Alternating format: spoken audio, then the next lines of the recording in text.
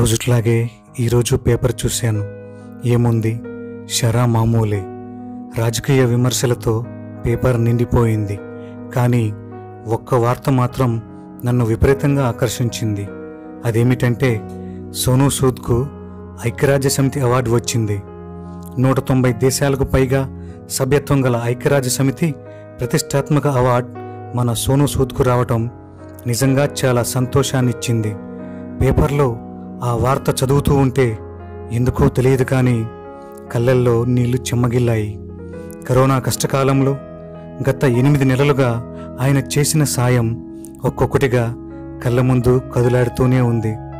సోనూ సూద్ ప్రపంచానికి పెద్దగా పరిచయం అక్కర్లేని పేరు. లాక్డౌన్ సమయంలో వలస కూలీల పాలిట దేవుడిగా మారిన పేరు. కరోనా సమయంలో ఆపదలో ఉన్న వాళ్ళని ఆదుకుంటూ నిజమైన ఆపద్ బాంధవుడిలా మారిన పేరు. ప్రపంచానికి పెద్ద కష్టం వచ్చింది మనిషికి మనిషికి మధ్య దూరాన్ని పెంచింది.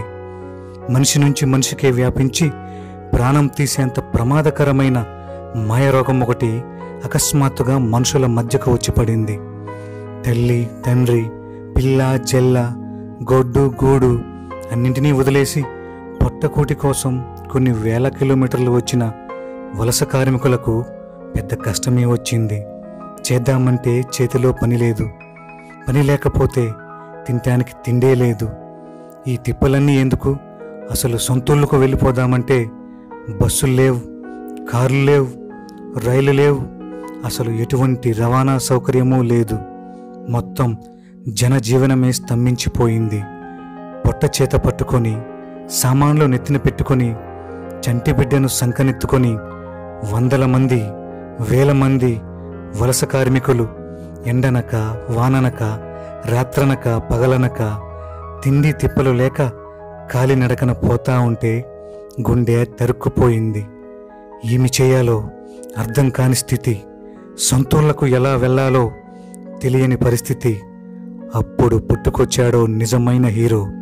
జార్ఖండ్ అస్సాం బీహార్ ఒడిశాలకు చెందిన దాదాపు ఇరవై వేల మంది వలస కార్మికులను వారి స్వస్థలాలకు చేరేలా స్పెషల్ బస్సులు రైళ్ళు ఏకంగా ప్రత్యేక విమానాలను ఏర్పాటు చేసి గొప్ప సాయం అందించిన నిజమైన హీరో సోనూ సూద్.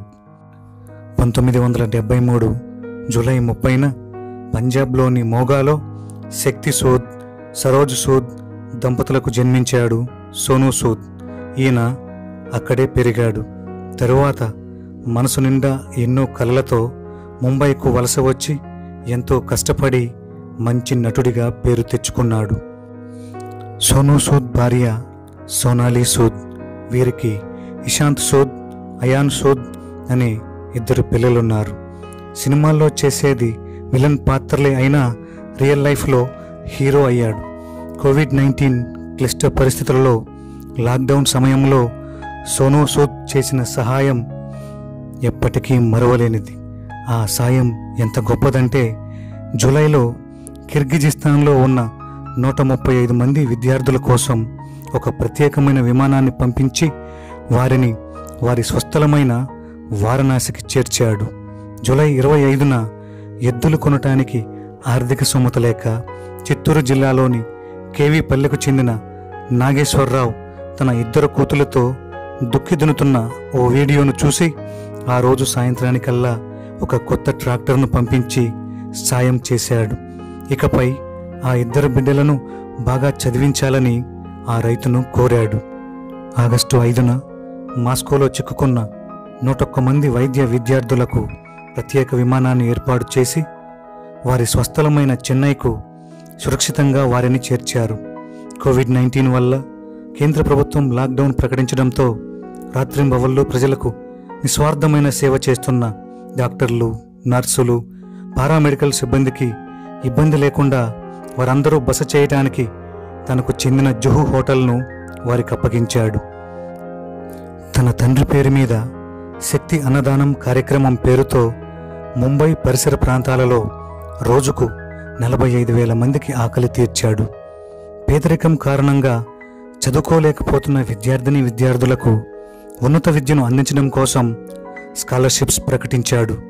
సంవత్సర ఆదాయం రెండు లక్షలలోపు ఉన్న కుటుంబాలకు చెందిన విద్యార్థులకు medicine engineering robotics artificial intelligence cyber security business studies జర్నలిజంతో పాటు వృత్తి విద్యా కోర్సులు చదువుతున్న వారందరూ దీనికి అర్హులే అని సోనూసూద్ పేర్కొన్నాడు.